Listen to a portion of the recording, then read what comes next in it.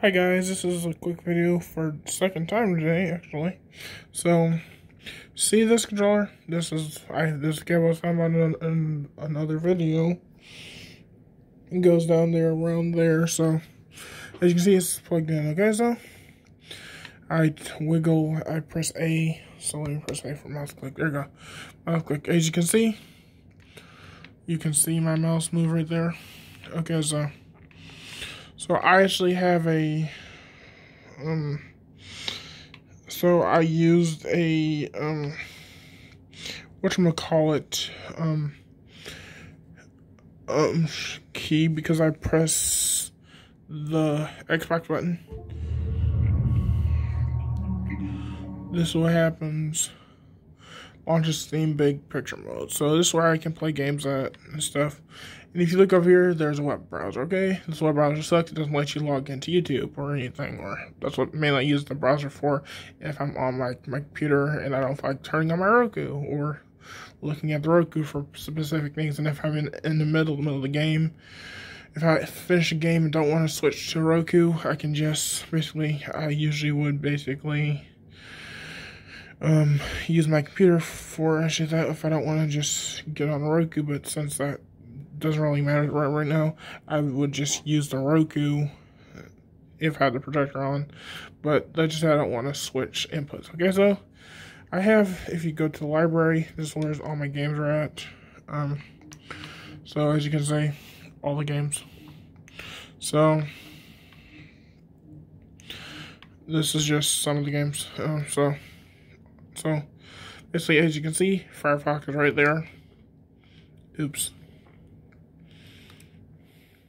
So as you can see, Firefox, I just opened it up because I'm trying to do this one-handed thing. Controller, I have controller companion installed. So there's this, I press A button to start that. You'll launch Firefox. And this will launch my web browser, which will launch my home page, which is where I have this. And since controller companion is right here, I can basically control this. So I just, this allows me to scroll up and down. Allows me to basically select stuff. And since it looks like this, is how it looks on mobile. And it allows me to basically search YouTube or pretty much any web browser.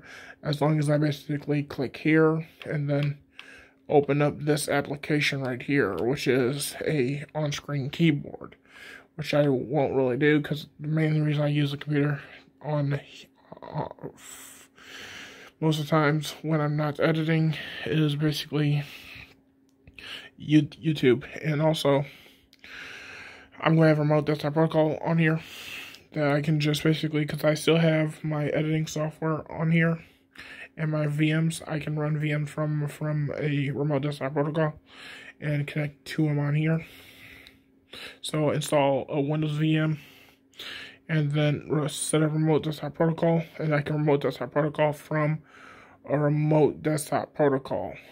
So, or I can just turn on remote desktop protocol and then I can use the other computer and remote desktop protocol into that. So, or RDP. And so if I'm saying I'm done with this, as you can see, I, I press the, Uh, as you can see, the X the X button over there. I press A button. It will exit out of there and take me back to Steam Big Ashy Picture mode. And then I can press the back button, the the back button, the back button.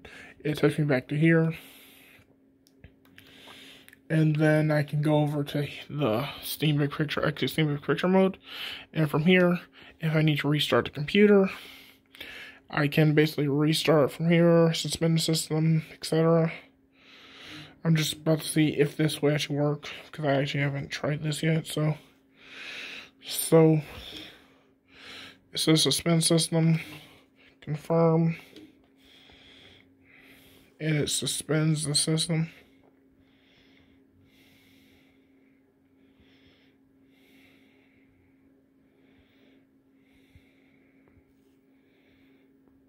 And as you can see, the controller went off. The fans went off, but you might not be able to hear it over the projector fan. But that's off. So I'm about to press it again and see what happens. If it turns back on, then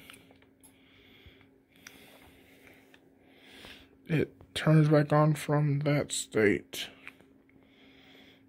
And it goes back into same picture mode. I can sleep it there, or I can I can sleep it there, or I can go here, exit Steam Big Picture mode and it allows me to exit back to desktop. And as you can see I'm still using my controller. And if I basically press the X button in, in, in control with control command on it goes like this.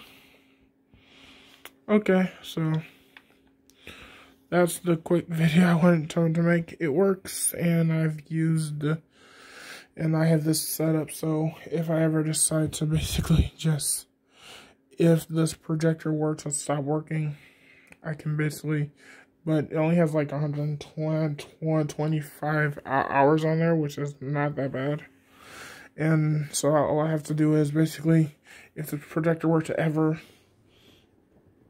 stop working, I can just unplug it from actually there and update it with like a new pro projector. Even though this projector can do 4K, I can basically update it to an 8K per projector if I so so decided to.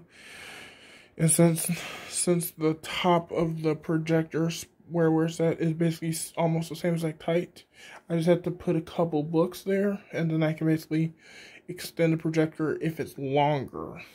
Yeah, and then just have a um, 4K projector right there. Even though this isn't a 4 4K screen, a 4K screen is has better grains. I basically could upgrade the projector screen, but for now this projector screen is fine. I might have, I might upgrade to a gray gray one if I get a new new one and mount it properly. Because this one I paid 22 bucks for, not that bad, but not good because they have better quality ones. Because this image could be actually better quality if I had a better quality projector screen and in, the, in, the, in the frameless one, and I calibrated it properly, which I did somewhat, but. Yeah. Thanks for watching. Bye.